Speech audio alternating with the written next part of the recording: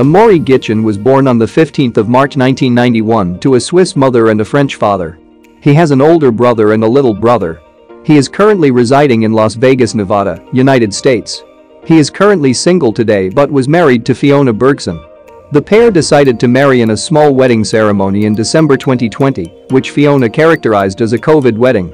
They first met after exchanging messages for a few months. It wasn't long before they saw each other in person and got into a relationship. Fiona said it was love at first sight, as reported by the Netline. Fiona is also a successful tattoo artist who has her own tattoo business in Montreal, Canada, in addition to her involvement in Amaury's professional life.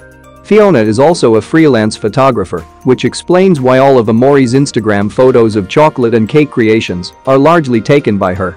Fiona is the director of international operations at the Amaury Guichon Pastry Academy in Las Vegas, so she was basically his boss. She was also the chef's manager, who never leaves his side while working.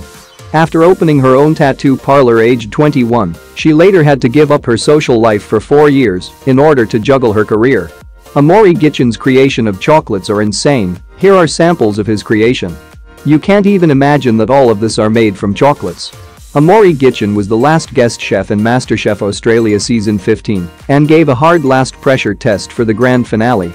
But his MasterChef journey will not end there because he will be hosting and judging the upcoming Dessert Master together with Melissa Leong this 2023.